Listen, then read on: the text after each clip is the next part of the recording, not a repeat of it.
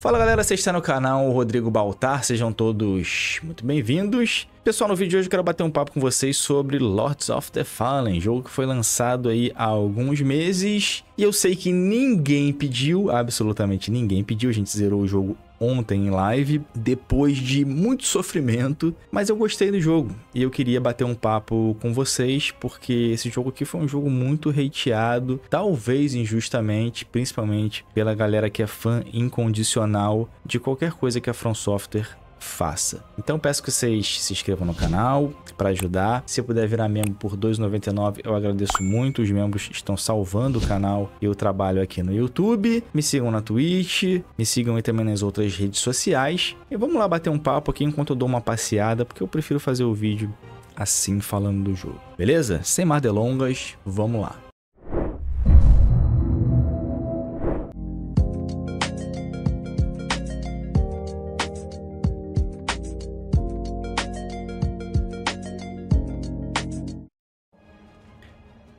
Então vamos lá, pessoal. Tô aqui com Lords of the Fallen, jogo que prometia bastante, né? Ele prometia entregar tudo aquilo que o Dark Souls, tudo aquilo que a From Software vinha prometendo, por exemplo, com Elden Ring ou pelo menos graficamente, né? Demon Souls e acabou decepcionando. É, eu não vou dizer nem um pouco, mas parece que decepcionou bastante, porque você não vê quase as pessoas falando desse jogo. Se você procurar qualquer coisa sobre a história do jogo e tal, você não vai encontrar quase nada. E esse aqui é um jogo que eu curti, assim como todos os Dark Souls né? Eu começo jogando assim e depois você apanha, apanha, apanha, apanha, apanha. Você fala assim, cara, eu vou zerar essa porra. Porque é, é um jogo que faz de tudo para te irritar. Ele tem um desafio excessivamente. É, é excessivamente difícil e muitas vezes injusto e irritante até. Porém, é exatamente o que as pessoas procuram num jogo Souls-like, acredito eu.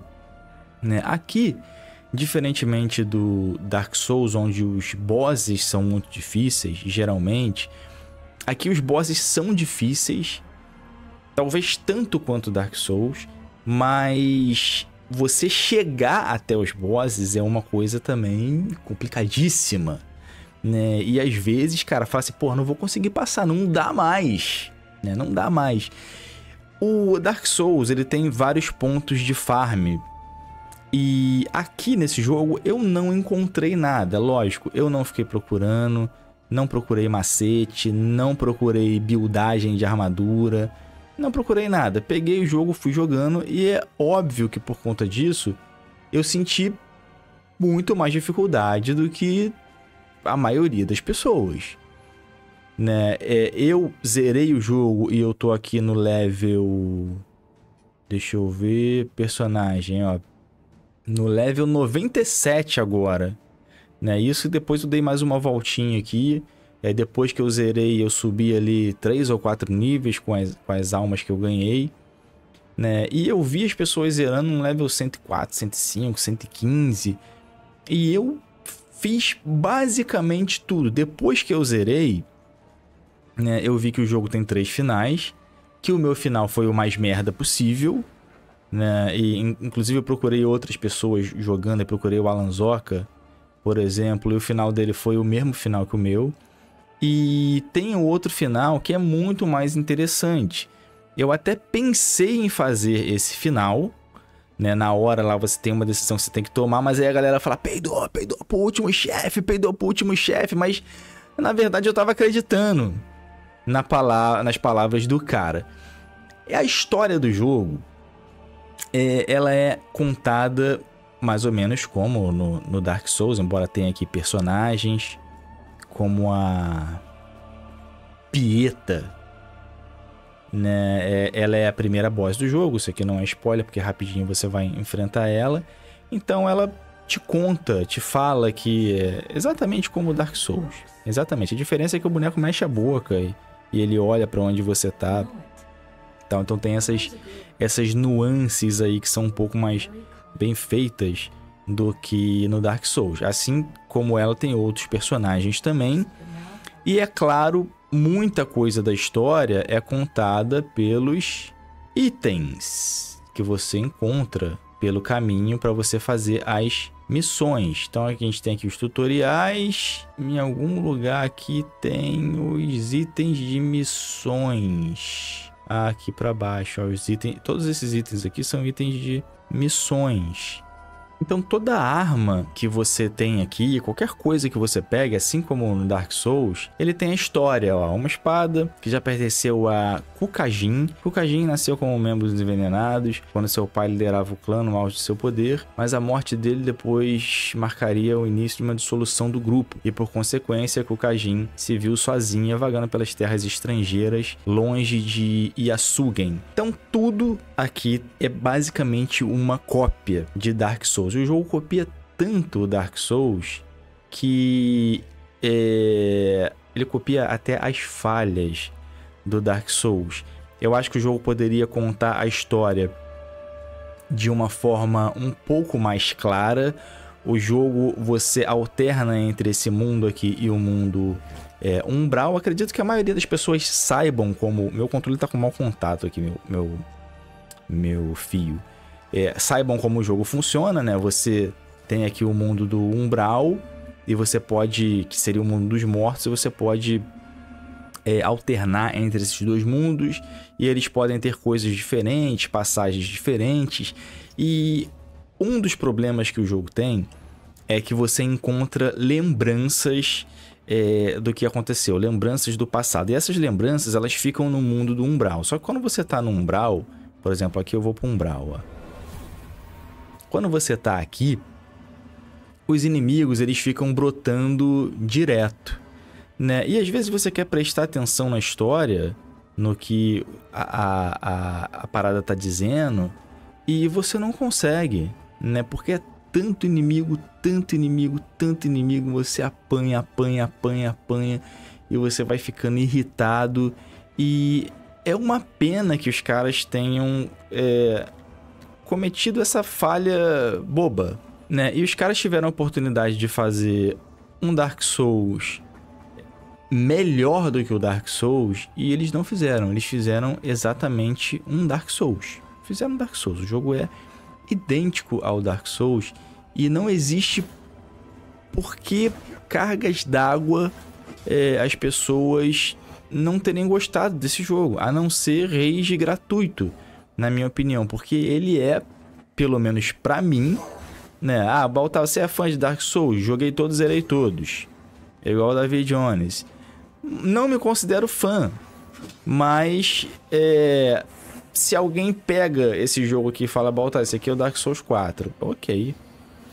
Né? É, pra mim ia ser é um Dark Souls melhorado. Né? Você vê que alguns efeitos é, de física do jogo são melhores. Vou voltar aqui para o mundo normal. Os efeitos são melhores, sistema de física melhor, mas na minha opinião, não melhor do que o Demon Souls. Né? Eu gostei mais da física do Demon Souls, do novo, né? E também graficamente o Demon Souls ele me parece melhor. Esse jogo que foi feito na Unreal 5, mas eu acho que muitas vezes o sistema de iluminação dele, embora seja muito bonito, é, em locais fechados, às vezes ele deixa um pouco a desejar. E o Demon Souls do Play 5, muitas vezes você confunde até com Ray Tracing, não é. Né? De tão bonito que é o, o, o Demon Souls. É, eu lembro que na época que saiu o Demon Souls, eu falei, pô, o Demon Souls é, pô, é só um Dark Souls novo, com gráfico melhor. E eu acho que assim como aquilo lá foi uma, uma oportunidade perdida para, no caso, a Blue, a Blue Point e também a From Software e a Sony, Aqui a mesma coisa. Por quê? Porque esses jogos aqui eles têm um combate maneiro, tem um sistema de RPG é, ok. Pera aí, deixa eu tirar esse controle aqui, cara, porque tá... Alguma coisa tá estranha.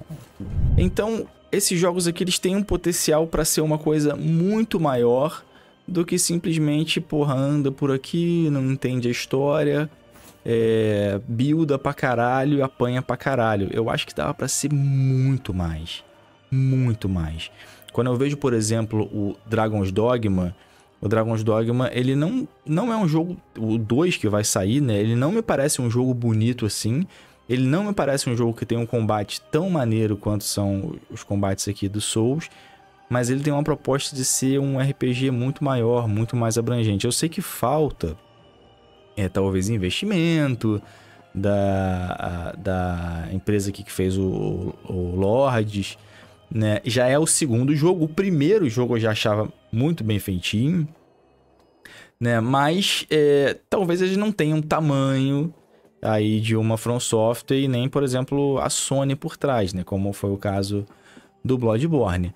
Mas dentro daquilo que, que as pessoas esperavam, eu sempre espero muito mais, dentro daquilo, ah, é um Dark Souls com um combate é igual ao Dark Souls e o sistema de defesa, por exemplo, é um pouco melhor, de física é um pouco melhor do que o Dark Souls e gráficos, né? Os gráficos são bem melhores do que o dos Dark Souls, até porque os Dark Souls eles já estão uh, antigos, né? Então, o movimento do personagem é muito bacana, ele tem mais movimentos do que os personagens do Dark Souls tem mais golpes, é... tem uma cacetada, mas é muita. Aqui, é Dark Souls andando bug, né? É uma cacetada de armaduras, por exemplo, e vocês sabem que para me deixar feliz é só ter armadurazinha no jogo, tá vendo? Ele, ele não tem o temido Ray Tracing. Tá vendo? E isso faria diferença é, num jogo como esse daqui. Você vê o reflexo, né? Você vê que a luz ela incide ali sobre o personagem, mas você não vê sombra, por exemplo, aqui. E muitas vezes parece que o personagem está é, flutuando. Em relação às armaduras, deixa eu mostrar para vocês aqui a quantidade de armaduras que eu peguei, né? E, e, são armaduras que são maneiríssimas, né? Por exemplo, essa armadura aqui da, é, da vanguarda, Pô, é uma armadura absurda, cara. E tem muita armadura maneira. Muita armadura maneira. E isso é uma das coisas que eu gosto e uma das coisas que eu não gostei, por exemplo, no Sekiro. Né? Você joga aquele maluco lá maneta o jogo inteiro, só com uma espada. Tudo bem, eu sei que faz parte da história e tal. É, não tem nenhuma roupinha. E eu falei, porra, caraca, mas o maneiro do RPG, o maneiro desses jogos é você, pô, correr atrás das paradas para você pegar coisa nova e tal. E o Sekiro não tem isso. Vamos tentar fazer uma defesa aqui para ver se esse cara vai me atacar. Não, esse cara é peidão, não ataca não. Né? E no, no Sekiro não tinha isso. Mas nesse daqui tem tudo. Né? Tudo que você quiser num Dark Souls tem nesse jogo aqui. E eu não consigo entender porque as pessoas não gostaram, hatearam. Por exemplo, ele saiu praticamente junto com o Lies of P. E o Lies of P, uma das coisas que ele me decepcionou foi graficamente. Me decepcionou bastante graficamente o, o Lies of P. É, parece que é um jogo. Parece que é mais ou menos é datado como o Dark Souls. No caso, essa armadura aqui, ó maneirinha. Aí você pode mudar a cor da armadura. Falar, porra, bota aqui baitolice, hein, botar. Mas, porra, eu gosto, cara. Por exemplo, se eu pegar essa armadura aqui, eu posso botar a armadura. É, aí bota aqui o elmo preto, aqui o torso preto, o bracinho preto também. E a calça preta. Pô, fica maneiro, um cavaleiro Dark Knight, né? Então, cara, o jogo tem tudo que tem um Dark Souls. Inclusive, os cenários são muito parecidos com Dark Souls. Tudo é o Dark Souls. Tudo é o Dark Souls. No início, eu reclamei... Aqui, o boneco flutua no cenário muitas vezes, né? E eu acho que eles poderiam ter dado uma melhorada nisso. Olha a iluminação aqui como é... Como é bonita, né?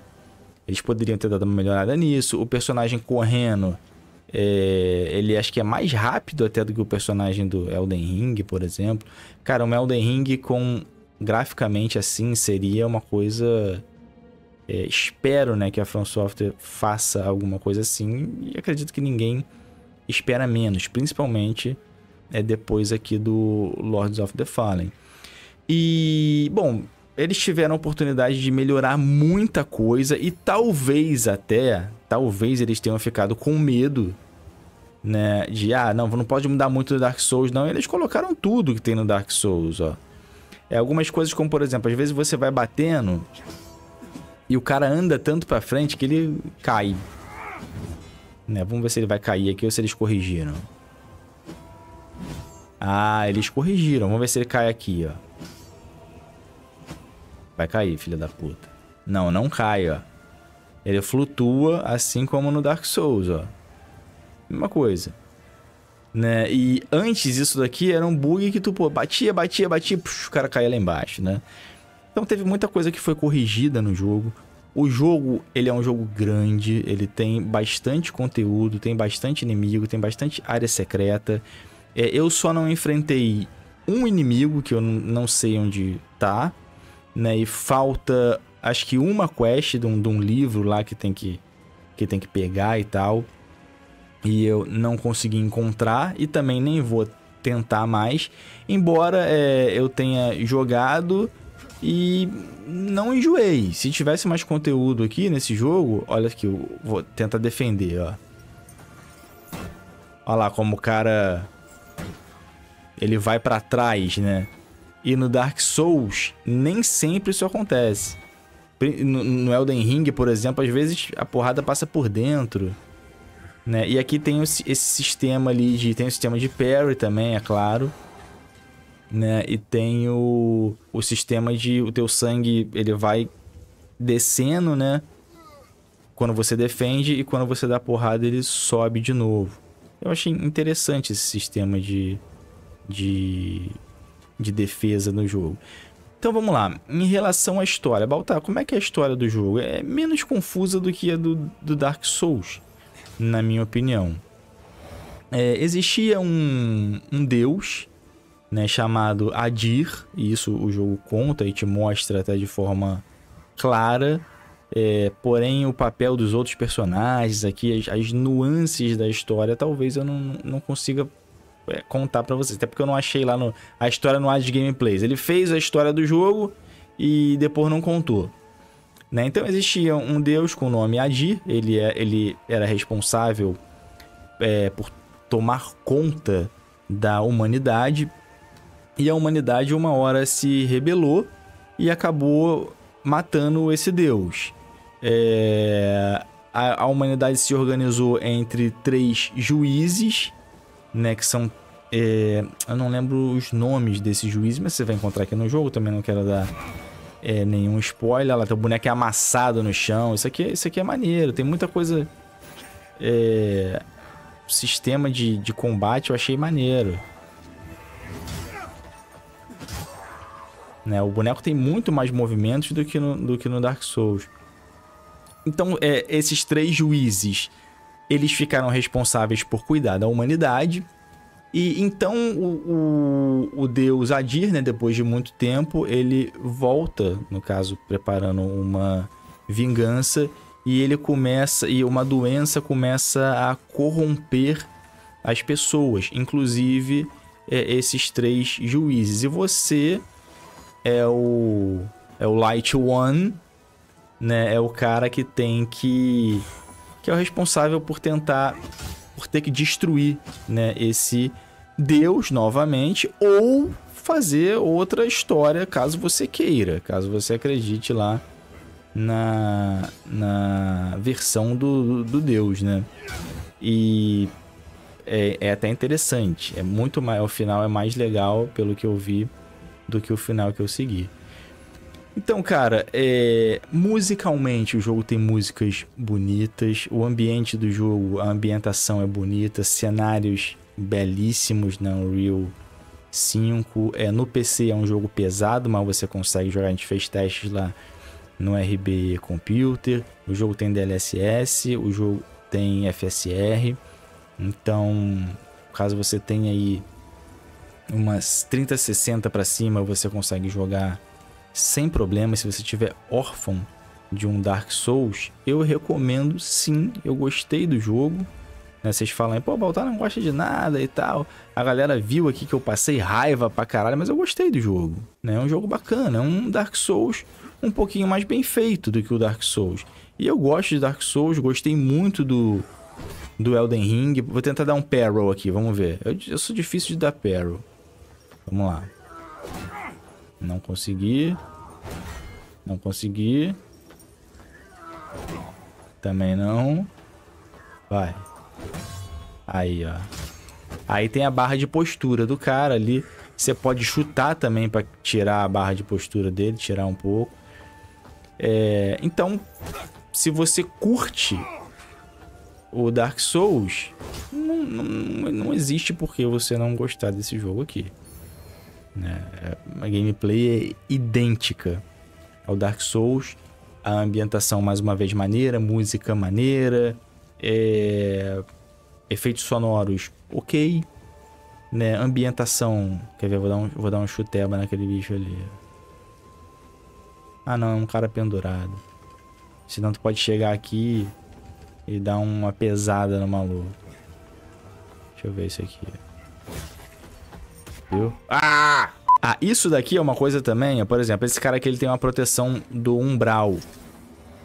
Né? E isso, cara, em alguns momentos do jogo, olha, é muito irritante, porque tem tanto bicho na tela e os bichos com essa proteção e os caras te atirando, os caras não erram o tiro e você tem que usar disso aqui e, e sair rolando. Aquele meu boneco tá pesado, né? Sair rolando pra tu não tomar tiro é complicado. Poderia ser um pouco menos de. um pouco menos bonequinhos na tela, e mesmo que eles fossem mais difíceis, né? Mas não tantos, porque o jogo fica injusto. Você sabe quando você enfrenta dois personagens, dois inimigos no Dark Souls, é injusto pra caralho muitas vezes, né? E aqui também não é diferente. Mas é o desafio para quem para quem quer. É, tem isso aqui eu achei maneiríssimo, né? Minha espada tem parada de sangue, então você pode imbuir sangue na tua espada. É... Aqui embaixo tem uns carinha mais um pouquinho mais difícil. Deixa eu descer aqui para mostrar para vocês. Ou então luz né? Aqui, cheguei aqui embaixo. É, o jogo também repete, por exemplo, você chega num, num local e tem um boss e também tem aqueles inimigos elite. Esses inimigos elite, eles são muito repetidos e alguns deles são muito difíceis, cara. E você fica assim, por que, que esses caras estão na cabeça, filho? Pra ficar repetindo esse boneco aqui, um boneco difícil pra caralho. É, é complicado. É complicado. Tem um desafio bom o jogo. Se você é um cara, eu sou um boneco que é guerreiro praticamente aqui. E aqui, nessa parte, os inimigos estão já fáceis para mim, porque isso aqui é no início do jogo. Só que conforme você vai avançando, cara, e por exemplo, eu aqui, outro carinha com proteção, ó. Olha, aqui é uma cacetada de boneco. Então imagina você fraco numa zona dessa daqui. É, eu, quando cheguei aqui, ó, aquele maluco ali, Percival. Ele também, em um momento, é um boyzinho. E depois ele vira um... Um inimigo aqui do jogo. Isso, na minha opinião, é ruim. Né? Até porque esses caras são difíceis pra caralho. Né? Infelizmente, assim como isso eu critiquei é, no Sekiro, isso aconteceu no Sekiro também. Eu não lembro se acontece no Dark Souls, mas para mim isso é é eu acho que falta falta de memória não é, né? Talvez falta de criatividade um pouquinho, podiam repetir menos esses inimigos. Mas bom, pessoal, é... as reclamações que eu tenho do jogo são Por exemplo, a, a, física do personagem andando no cenário ela poderia ser melhor, assim como eu falo que o Dark Souls poderia ser melhor. É... O, o, o, boneco ele não precisava ser tão rápido assim, mas eu sei que, porra, a galera muitas vezes sai correndo igual um doido e quando você dá aquela corrida, tu vai até o final do jogo igual o David Jones que ninguém te pega. Aqui também é a mesma coisa. É, o jogo tem um sistema de, de combate praticamente idêntico ao Dark Souls, tudo é igual ao Dark Souls. E é uma aventura bacana, é uma ambientação bacana, são gráficos bacanas, dá para você perder um tempinho jogando. Eu não sei quantas horas eu tenho aqui de gameplay, vamos ver se aparece. Eu não sei quantas horas eu tenho de gameplay, mas a gente começou esse jogo aqui. É, depois a gente parou para jogar, se eu não me engano, Spider-Man, que não, nem deveria ter parado, né? Porque o que os caras fizeram com Spider-Man é um absurdo. E depois a gente zerou ainda o GTA e eu nem ia voltar pro Lost porque eu tava achando o jogo muito difícil. Mas eu decidi, tipo, tipo assim, como eu fiquei muito tempo sem jogar, eu falei, porra, cara, não, não vou conseguir é, tancar mais, né? Porque é difícil pra caralho, né? É muito difícil. E acabei voltando e consegui. Né? Acabei voltando e consegui, depois de muita dificuldade, continuar. A, a... Meu boneco é o Kratos, ó. Deixa eu mostrar pra vocês.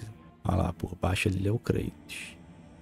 E aí eu voltei e tal, e meio que viciei aqui de novo e assim como no Dark Souls, eu fui até o final e, como dizem os jogadores de futebol, fui feliz. Então, pessoal, eu recomendo sim.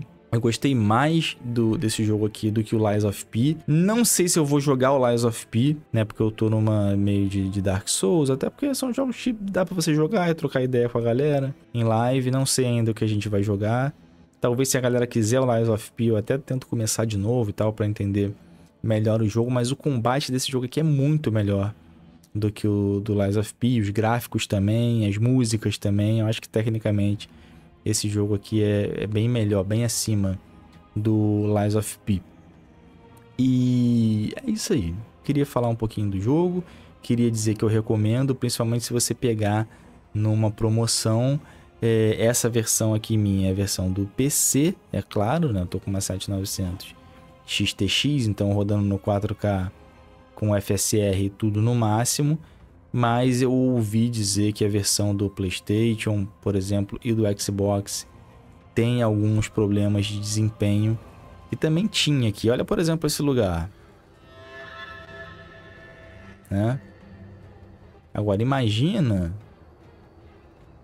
que tivessem mais coisas aqui, por exemplo, uma cidade, onde você chega e fala com as pessoas, as pessoas têm uma vida, né? É, seria o jogo que eu venho pedindo há séculos. Fala, cara, um Witcher assim é para tomar a vida de qualquer um, né? É para acabar com uma vida social de qualquer um. Imagina. Mas infelizmente, é... os caras tentaram seguir a mesma fórmula para não errar.